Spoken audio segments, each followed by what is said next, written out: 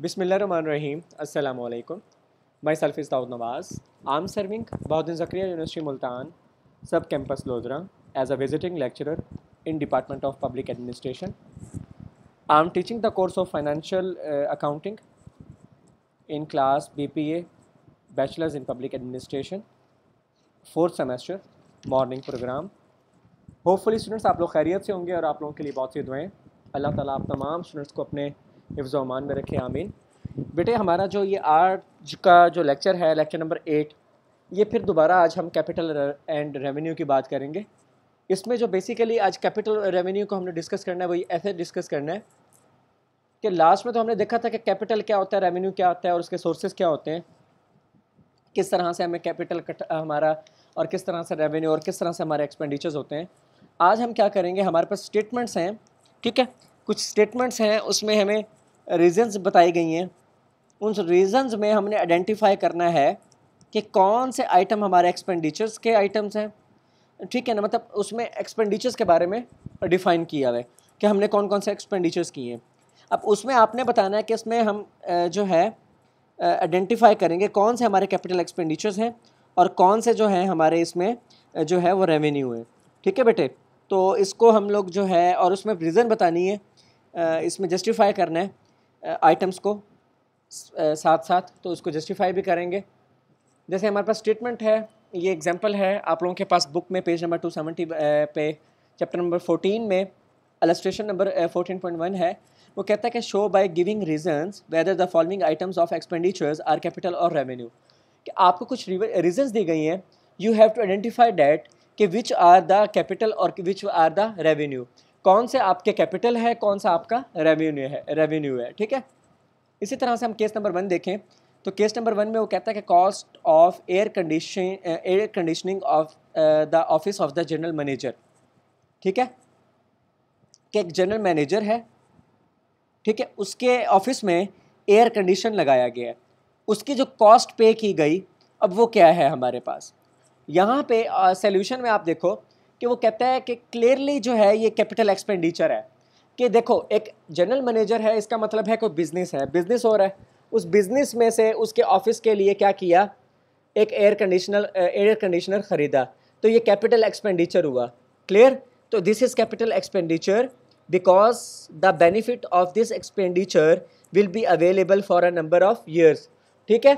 इसी तरह से हम दूसरी इसकी का, इसका दूसरा केस देखें। तो वो कहता है कि of overhauling and painting a second hand truck newly purchased ठीक है?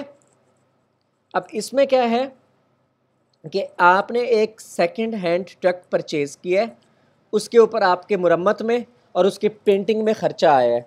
तो ये हमारे पास मेरा बेटा क्या होगा कि all the expenditures incurred to put the second hand truck into working condition will be treated as capital expenditure अब वो आपने ट्रक लिया अपने ऑफ़िस के काम के लिए, ठीक है, जो आपका एक बिज़नेस है, उस, उसके लिए आपने एक ट्रक ख़रीदा। अब वो ट्रक जो है, आपने क्या किया सेकंड हैंड में ख़रीदा। अब उसको बनाने में जो कॉस्ट आई, जो ख़र्चा आया उस सेकंड हैंड हैंड ट्रक को वर्किंग कंडीशन में लाने के लिए तो उसको भी क्या है कैपिटल एक्सपेंडिचर ट्रीट किया जाएगा। ठीक है बेटे? इसी तरह से थर्ड हमारे पास केस है कि cost of the annual taxes paid and the annual insurance premium paid on the truck mentioned above ठीक है? कि आपने क्या किया? एनुअल टैक्स पे किया और एनुअल इंश्योरेंस पे की ट्रक की। तो जब आपने एनुअल टैक्स पे किया और एनुअल प्रीमियम पेड किया ट्रक का तो बेटे ये हमारे रेवेन्यू एक्सपेंडिचर हैं। क्योंकि they do not add to the value of the truck कि ये ट्रक की वैल्यू में ऐड नहीं होते and their benefit will be exhausted within the year और इनका जो बेनिफिट है, वो एक साल के अंदर ख़त्म हो जाता है। क्लियर एग्जास्ट हो जाता है। इसी तरह से वो कहता है वेजेस जो हैं वो पेड की गई वर्कर्स को for the installation of machinery machinery के इंस्टॉलेशन के लिए फ़ोर नंबर केस आप लोग देखो कि जब मशीनरी इंस्टॉल करनी थी, उसके लिए आपने वेजेस पे की। ठीक है, उसमें क्या होगा कि आपने क्या किया कैपिटल एक्सपेंडिचर किया, क्योंकि वो नेसेसरी था एक वर्किंग कंडीशन में लाने के लिए मशीनरी को, ठीक है? उसकी मशीनरी को जब आप वर्किंग कंडीशन में लेके हो, उसकी इंस्टॉलेशन करवाई है तो उसमें आपने कैपिटल एक्सपेंडिचर मेरे बेटा की है। केस नंबर फाइव है कि the cost of acquiring the sorry cost of redecorating a cinema hall एक सिनेमा हॉल है, उसको डेकोरेट किया तो उसमें कुछ कॉस्ट पे की। जब उस सिनेमा हॉल को डेकोरेट करने के लिए कॉस्ट पे की बेटे तो ये क्या होगा कि cost of decorating a cinema hall is not capital expenditure ये हमारा कैपिटल एक्सपेंडिचर नहीं है बिकॉज़ क्योंकि it does not add to the capacity of the hall clear but if the cost is fairly heavy and the benefit will be there for a number of years then it should be treated as deferred revenue expenditure तब हम इसको क्या करते हैं? As a deferred revenue expenditure treat कर रहे होते अगर जब इसको जो है, इसकी कॉस्ट जो है हमें फेयरली क्या हो रही होती? बेनिफिट दे रही होती बहुत सालों के लिए। इसी तरह से बेटे, हमारे पास सिक्स है। Cost of acquiring the goodwill of an old firm ठीक है? कि एक ओल्ड फर्म है उसकी जो है गुडविल के लिए हमने कुछ एक्वायर किया, ठीक है? उसमें, अब उसके क्या होगा? हमारे पास कौन सा खर्चा होगा? This is capital expenditure because the use of that firm name will benefit the purchaser for a long term कि आपने क्या किया? एक फर्म है ओल्ड फर्म है, पुरानी फर्म है, उसका नाम आपने यूज़ किया। एक बार द गुडविल का मतलब यहाँ पे है, आपने उस फर्म का नाम यूज़ किया अपने साथ। तो इसमें आपको कैपिटल एक्सपेंडिचर किया। आपका जो कैपिटल एक्सपेंडिचर किया, क्यों आपने किया? कि उस फर्म को का जो एक नाम है, वो मतलब उसका एक नाम है, उसकी एक शहरत है और उसकी वजह से आपको एक लंबे अरसे तक फ़ायदा होगा, आपको मुनाफा होगा। इसी तरह से वो कहता है केस नंबर सेवन में, the cost of heavy advertisement for a new product and रिव्यूल of works to a new and better site. इसमें क्या होगा कि आपने हैवी एडवर्टाइजमेंट करवाई अपनी न्यू प्रोडक्ट की, कि बहुत ज़्यादा एडवर्टाइजमेंट करवाई। ठीक है? And removal of work to a new and better site तो आपने उसके लिए बहुत सारी कॉस्ट पे की। जब कॉस्ट पे की तो वो क्या होगा कि दिस एक्सपेंडिचर इज़ हैवी ये जो एक्सपेंडिचर है, ये हैवी है, बहुत ज़्यादा एक्सपेंडिचर है, मगर ये कैपिटल नेचर का नहीं है। इसी के साथ साथ, जो बेनिफिट है expenditure the benefit of the expenditure will be available for a number of years और इसका जो बेनिफिट है वो आपको नंबर ऑफ़ ईयर्स यानी कि बहुत अरसे तक जो है उसका बेनिफिट जो है रिसीव होगा और इसको आप ट्रीट करोगे as a deferred revenue expenditure यानी कि आप इसको डेफर्ड रेवेन्यू एक्सपेंडिचर के साथ ट्रीट करोगे।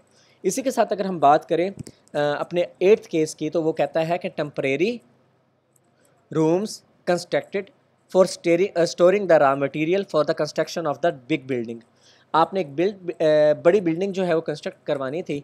उसके लिए आपने क्या किया कि टम्प्रेरी रूम जो है वो कंस्ट्रक्ट किए गए ताकि जो उस बिल्डिंग को बनाया जा रहा है, उसका जो रॉ मटेरियल आ रहा है, उसको स्टोर किया जा सके। तो बेटा, ये जो आपका जो ख़र्चा होगा, इसको ट्रीट किया जाएगा कैपिटल एक्सपेंडिचर क्यों?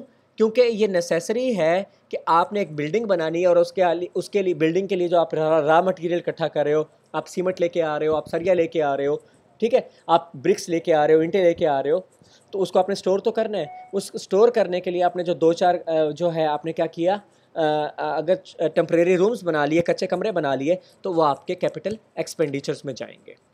इसी के साथ बेटे, हम केस नंबर टू को जो है डिस्कस कर लेते हैं। केस नंबर टू क्या होगा?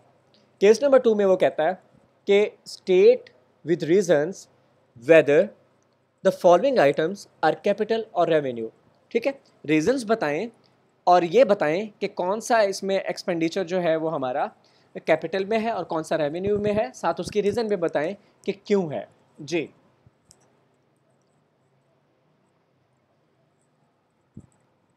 केस नंबर वन है एलस्ट्रेशन नंबर टू में payment of damages through infringement of a patent rupees five hundred ठीक है? इसमें क्या है? कि रुपीज़ पाँच सौ रुपये जो है, आपने पे किया डैमेजेस के लिए, किसके थ्रू इन्फ्रिजमेंट के थ्रू ऑफ़ अ पेटेंट ठीक है? Is an item of revenue expenditure अब ये जो पेटेंट है, ये क्या है? रेवेन्यू एक्सपेंडिचर है. बिकॉज़ क्योंकि it is payment which has been made in the ordinary course of business कि ये आप एक आम बिज़नेस कर रहे हो और उसके लिए ये पेमेंट ज़रूरी थी।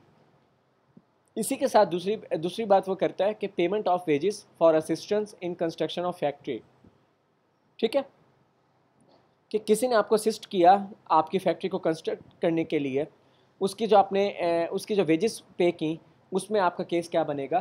कि payment of wages for assistance in construction of factory is capital expenditure ये आपका कैपिटल एक्सपेंडिचर होगा। रीज़न क्या होगी? क्योंकि it has been incurred for the construction of an fixed asset कि ये कंस्ट्रक्शन हो रही है एक फिक्स एसिड की तो उसके लिए आपका जो एक्सपेंडिचर आया है, वो आपका कैपिटल एक्सपेंडिचर है। क्लियर इसी तरह से जो cost of replacement of a slate roof value rupees six hundred by a glass roof rupees one thousand आपके पास पहले एक, एक स्लेट रूफ लगी हुई थी ठीक है? स्लेट वाली छत लगी हुई थी जो कि छः सौ रुपये की थी। उसको आपने रिमूव करके आपने एक गिलास रूफ यानी कि आपने शीशे की एक जो है छत लगवाई जिसकी कीमत हज़ार रुपये है।